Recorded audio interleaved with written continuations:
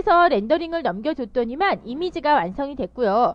보니까 외부에서 들어오는 direct light에 의한 그림자, 그 다음에 간접 조명, 그리고 스포트 라이트를 이렇게 point light 준 요 target point light에 대한 설정, 그게 잘 나타나지고 있고요. 간접 조명이 조금 연한 것 같아서 간접 조명의 그 multiply 값을 좀 올리고 나서 가구를 merge시키겠습니다.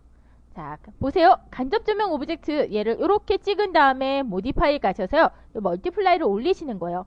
저는 한 5 정도로 올리겠습니다. 자, 이거는 카메라를 어떻게 보느냐에 따라서 조금씩 다릅니다.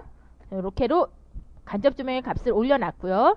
자, 이 상태 잠깐 save 저장 좀 하고요. 조명과 카메라를 만질 것이 아니기 때문에 create 아니야 create가 아니라 여기 command 패널에서요 modify 패널에 카메라 light를 꺼놓겠습니다. 자, 이 상태에 가구를 한번 머지 시켜볼까요? 파일 머지 하십니다.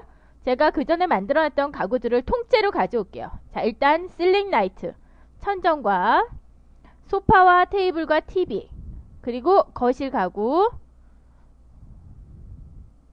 액자가 있었는데. 자, 이렇게 일단 오케이 해서 머지를 시킬게요. 자, 이때요. 어, 현재 이게 똑같이 존재한대요. 보세요. duplicate. 똑같은 겹치는 material name이 있대요. 이럴 때는 auto rename 하십시오. 그러면 컴퓨터 너가 알아서 이름을 지정해서 가져와라 라고 되는 거예요.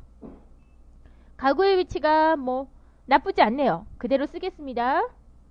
네, 이렇게 해서 가구까지 머지를 했고요. 여기에 액자까지 이렇게 넣어주시면 훨씬 더 좋겠죠. 네, 좋습니다. 이 상태를 다시 한번 렌더 넘기겠습니다.